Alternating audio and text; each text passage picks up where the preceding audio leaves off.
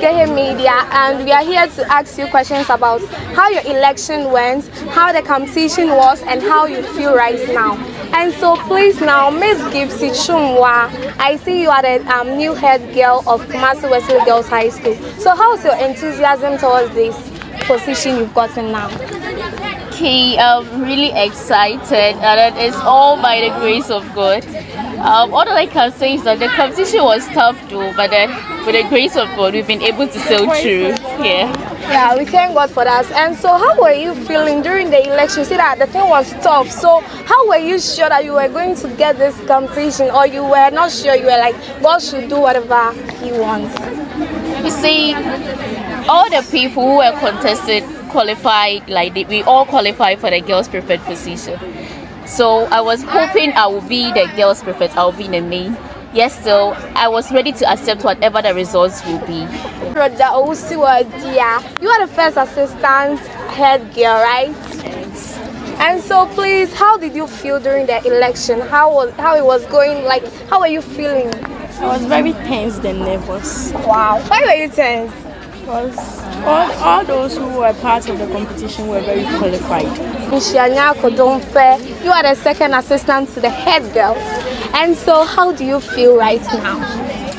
Um, I, don't, I don't know, it's a mixture of feelings, sadness, happiness, but all these things, I'm very, very excited.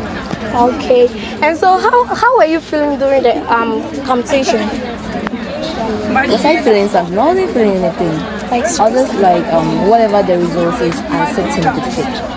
Okay. So I was just there, I didn't think about anything, I was just there like, whatever the outcome is, I'm okay. Whatever will come with you were oh, you would be okay with it. So I prepared myself for all possible outcomes. Okay, and that's nice of you. So um what if you were out of the position um the contest?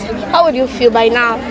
I would, I would have been sad but then I would have considered it to be a way of What you would like us to do for you, the main and assistant head girls. So what are you expecting from your girls? Okay, I'm expecting that my girls will collaborate with me and then together we will work to the development of our school. What if we, we prove stubbornness? I'm not sure my girls will prove stubborn, but then if they prove stubborn, I will know how to talk to them so that they will get back on track. My girls are ah, yeah. Okay, so what should we students expect from you girls? They should expect nothing but the best from us. What's the best? The best of the best. of the best of the best? of course. What's the best?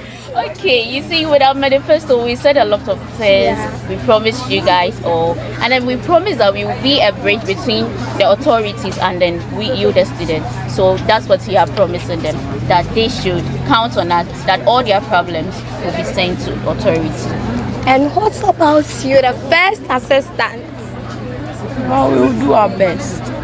I mean the best, best, of the best. Just as you, you presented in your manifesto. Yes. And you? We are all heading toward the same goal. So I'm supporting the best.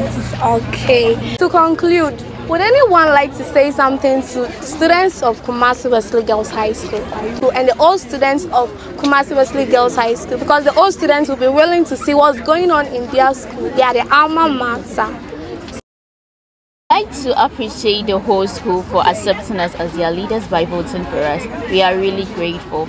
And we are pleading with them that they should cope with us so that whatever thing that we will do will help in the development of our school.